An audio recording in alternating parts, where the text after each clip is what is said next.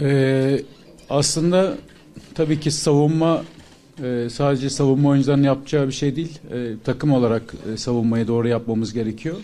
E, belki Kas, e, Karagümrük ve e, Beşiktaş maçına baktığımızda burada e, iyi bir performans sergilemedik. Ama son iki maç e, sizin de dediğiniz gibi çok önemli bir performans sergiledik.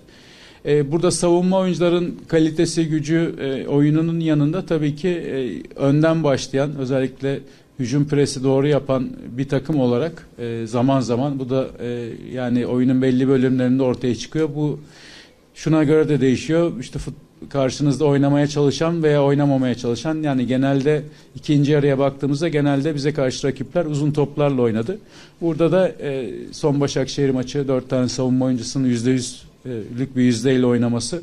E, bugün de büyük ölçüde e, kafa toplarını almamız, ikinci topları toplamamız orada Lucas'ın aldığı e, rol de çok önemli oluyor. O yüzden genel olarak aslında takım olarak iyi savunma yapıyoruz. E, savunma oyuncularımızın performansı da yüksek.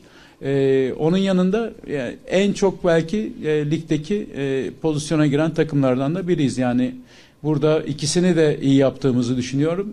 Belki gol sayımız, girdiğimiz pozisyon, rakip ceza sahasında buluşma, e, gol beklentimiz yani bunlara e, baktığımızda e, gol sayımızın daha da yüksek olması gerekirdi. Bence e, gol sayımızın e, altındayız. Yani oynadığımız oyun e, hücumda da çok fazla çok kişiyle hücum ediyoruz. Yani buradaki gol sayımız e, şu andaki değerlerimize göre biraz daha iyi olması gerekirdi. Yani savunma oyuncuların performansı tamam. Hücumdaki oyuncularımızın daha çok gol sayılarına e, ulaşması gerekirdi. Yani burada e, 3-4 oyuncunun belki direkt olarak 10 golün üzerine çıkması e, bizim gibi takımda gerekirdi.